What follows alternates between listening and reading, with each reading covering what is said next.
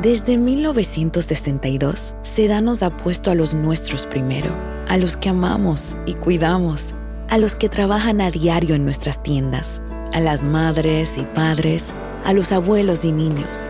Desde hace casi 60 años hemos estado aquí para nuestra comunidad y en estos tiempos difíciles, tanto nuestras puertas como nuestros corazones permanecerán abiertos.